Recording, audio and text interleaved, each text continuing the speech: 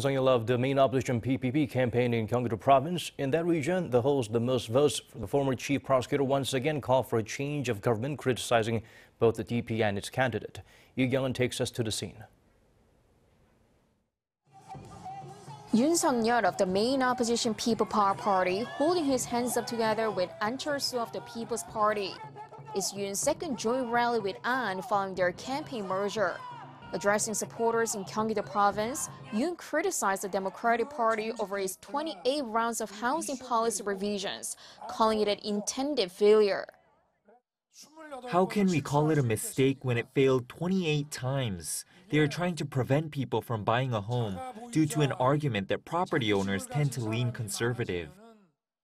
Then Yoon channeled into his ultimate slogan calling for a change of government, seeking a fresh boost for his push through his partnership with Ahn, who says his forward-looking outlook combined with Yoon's fairness can make a better country.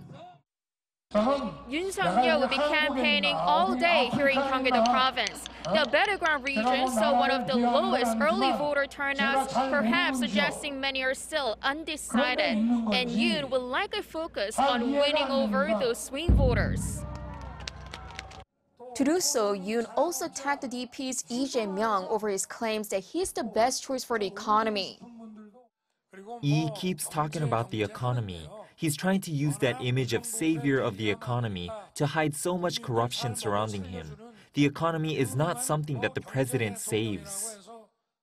This is also seen as his counterattack following the latest controversy sparked by an audio clip allegedly pointing at his involvement in the very scandal he used to attack E. While the DP is ramping up the offensive over this, the PPP is turning its own attack on the DP over its responsibility for the controversial mismanagement of early voting. Kyung-eun, Arirang News.